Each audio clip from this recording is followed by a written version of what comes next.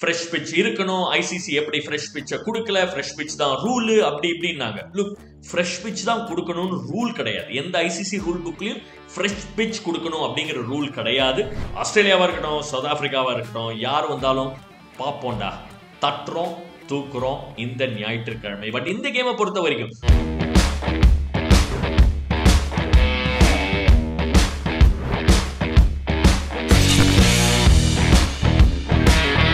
வணக்கம் மக்களே நான் ஆர்கே. நீங்க பார்த்துட்டு இருக்கிறது RK games band YouTube channel super star ஷமியோடைய five wicket ஸ்பெல்ல பத்தி பேசி ஆரம்பிக்கிறதா? குல்தீப் யாதவ் உடைய கடைசி ரெண்டு ஓவர்ல ஆறே ரன்கள் மட்டுமே கொடுத்து அந்த ஒரு விக்கெட்டையும் வீழ்த்தியது. அது ஒரு டேர்னிங் பாயிண்ட் அப்படின்ட்டு அதை பத்தி பேசுறதா? இல்ல ரோஹித்தின் அட்டகாசமான துவக்கத்தை பத்தி பேசுறதா? சுபன் இன் கில்லியான பேட்டிங்கை பத்தி பேசுறதா?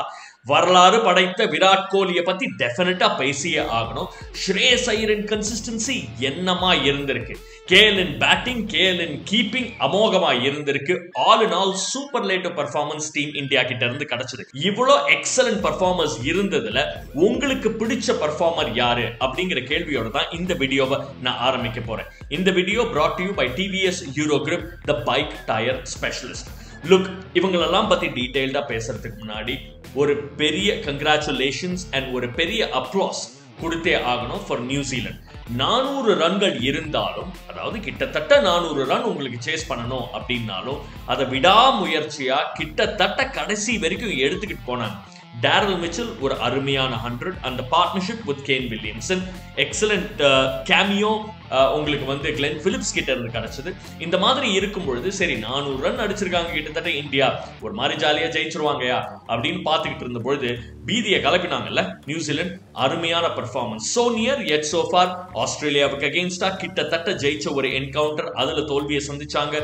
பாகிஸ்தானுக்கு அகேன்ஸ்டா நானூறு ரன்களுக்கு மேல அடிச்சாங்க. ரெயின் கர்டேல் என்கவுண்டர்ல வந்து தோல்வியை சந்திச்சாங்க பெங்களூர்ல. அண்ட் இன்னைக்கு ரெண்டாயிரத்தி பத்தொன்பதாம் ஆண்டு நடந்த அதே செமிஃபைனலுக்கு ரிவெஞ்ச் கிடைக்குமா இந்தியாவுக்கு? அப்படிங்கிற கேள்விக்கான பதில் எல்லாருக்கும் இந்திய ரசிகர்களுக்கு கட்டாயமா கிடைச்சிருச்சுங்க. அவுட்ஸ்டாண்டிங் பர்ஃபார்மன்ஸ் ஓவரால் இந்தியாவுக்கு. லுக் பிச்சு பிச்சு பிச்சு அப்படின்ட்டு எக்கச்சக்கமான பேச்சு இருந்துச்சு.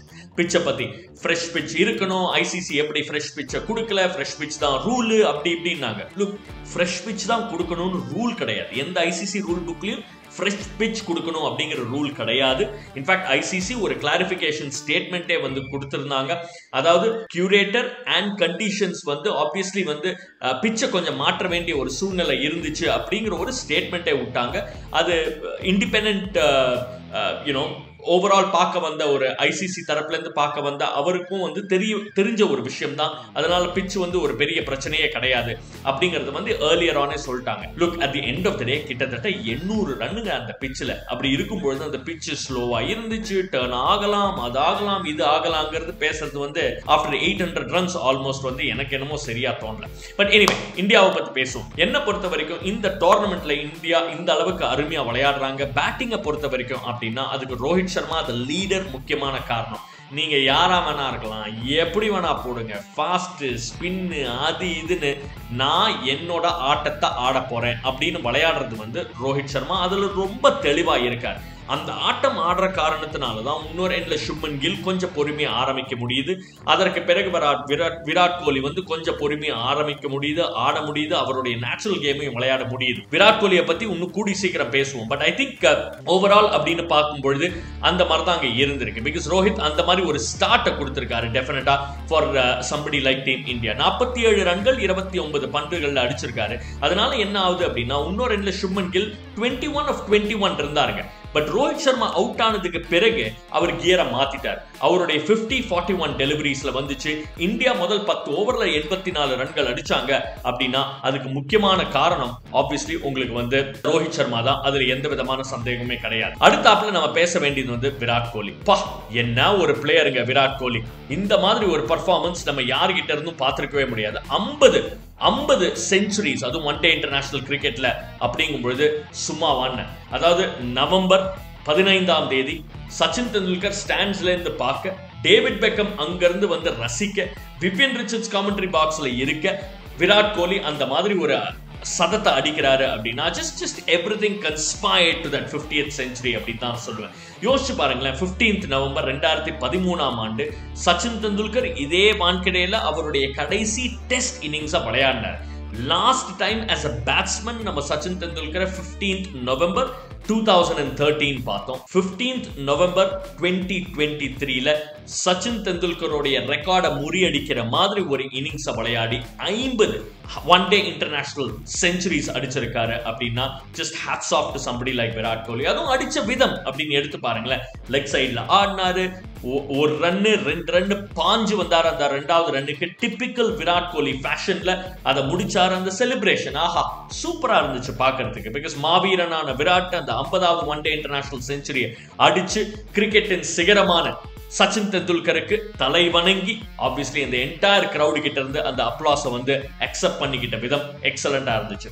Most runs in one world cup in record யார்கிட்ட? விராட் கோலி கிட்ட. ஐபிஎல்ல மேக்ஸிமம் ரன்ஸ் ஒரே சீசன்ல அடிச்சது யாரு? Virat Kohli. T twenty world கப்ல நிறைய ரன்கள் அடிச்சது ஓவர் தி இயர்ஸ் ஒரே வேர்ல்ட் கப்ல யாரு அப்படின்னீங்கன்னா விராட் கோலி. ஒரு ரன் மெஷின் அப்படிங்கிறதுக்கு ஒரு அருமையான எடுத்துக்காட்டு விராட் கோலி அதுல எந்த விதமான சந்தேகமும் இல்லை. Yet another outstanding knock and outstanding century அஸ்திபாரமா இருந்துச்சு இந்தியா கிட்டத்தட்ட நானூறு ரன்களுக்கு. Virat Kohli slightly different type of innings விளையாடினார் அப்படின்னா இன்னொரு எண்ட்ல இருந்து அடிச்சு ஆடணும் அப்படிங்கிற கட்டாயத்தோட இறங்கினாரு Shreyas Iyer. Outstanding century Shreyas Iyer again short பால பத்தி பேசியிருக்கோம். ஸ்ரேயஸ் ஐயரின் வலிமை அகைன்ஸ்ட் ஸ்பின்னர்ஸ் பேசியிருக்கோம். கெத்த காமிச்சாருங்க. நாலாவது தொடர்ச்சியான ஹாஃப் செஞ்சுரி ஸ்கோர் வந்து ஸ்ரேயஸ் ஐயர் கேட்டது. அஃப்கோர்ஸ் ஹண்ட்ரட் ஹண்ட்ரட் அடிச்சாரு. பட் அந்த கன்சிஸ்டன்சி இந்த டோர்னமெண்ட்ல அவர் காமிச்சிருக்காரு. அவர் மட்டும் இல்லாமல் அடுத்தாப்ல கே எல் ராகுல் வந்தாரு டுவர்ட்ஸ் த வெரி எண்ட் அவர் அடிச்ச காரணத்தினால தான் இந்த அளவுக்கு ரன்கள் டீம் இந்தியாவுக்கு கிடைச்சது. And in terms of bowling Mohammed Shami. பா அதாவது ஒரு மாதிரி எனக்கு வந்து இதுவே மறந்து போச்சுங்க. எவ்வளோ வாட்டி அவர்கிட்ட பாலை கொடுத்து முதல் பந்திலே விக்கெட் எடுத்திருக்காரு அப்படிங்கிறது வந்து அந்த ஸ்டாட்டிஸ்டிக்ஸை மறந்து போற அளவுக்கு ரெகுலரா அந்த மாதிரி விக்கெட் எடுக்கிறாரு. எப்பெல்லாம் டவுட் இருந்துச்சோ கேப்டனுக்கு அப்பெல்லாம் விக்கெட் எடுத்து கொடுத்துருக்காரு. இன்ஃபேக்ட் அந்த தேர்ட்டி தேர்ட்டி ஒன் ஓவர்ஸ் அந்த ட்ரிங்க்ஸ் இருந்துச்சுல்ல அந்த சமயம் வரைக்கும் கூட கொஞ்சம் அப்படி வந்து பா இதெல்லாம் நகத்தெல்லாம் கிடச்சிக்கிட்டு தான் எல்லாருமே பார்த்துக்கிட்டு இருந்தோம். அந்த மேட்ச் என்னடா அது கிட்டத்தட்ட நானூறு ரன் அடிச்சிருக்கோம். அப்போ கூட வந்துருவாங்க போல் இருக்கே பக்கத்தில். ஒரு மாதிரி டவுட்டாக இருக்கே அப்படின்னு தான் பார்த்துக்கிட்டு இருந்தோம். பட் அந்த ட்ரிங்க்ஸ் பிரேக்கு பிறகு ரெண்டு பேக் டு பேக் விக்கெட்ஸ் டக்கு டக்குன்னு எடுத்தார். கேன் வில்லியம்சனோட விக்கெட் அந்த டீப்பில் போச்சு பாருங்களேன். அது ஒரு பெரிய திருப்பு முனையாக அமைஞ்சது.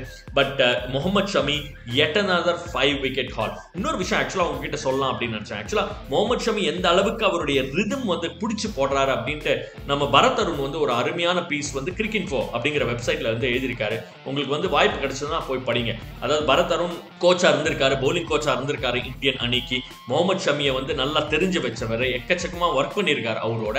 அண்ட் அவருடைய கன்பேர்வால வளர்ந்தவர் வந்து you know somebody like Mohammed Shami so அவருடைய இன்புட்ஸ் அண்ட் அவருடைய அப்சர்வேஷன் அந்த கிரிக்கெட் ஃபோ வெப்சைட்ல இருக்கு. டைம் கிடைச்சதுன்னா போய் ப- படிங்க.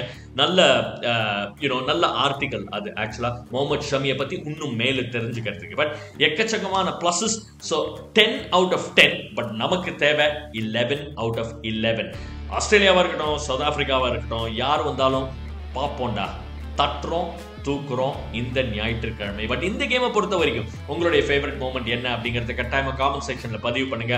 இந்த video brought you by TVS Euro grip the bike tyre specialist and of course உங்களுக்கு இந்த வீடியோ பிடிச்சிருந்தது அப்படின்னா லைக் பட்டன் அழுத்துங்க ஷேர் பண்ணுங்க. Most important RK games band YouTube சேனலுக்கு சப்ஸ்கிரைப் பண்ணுங்க.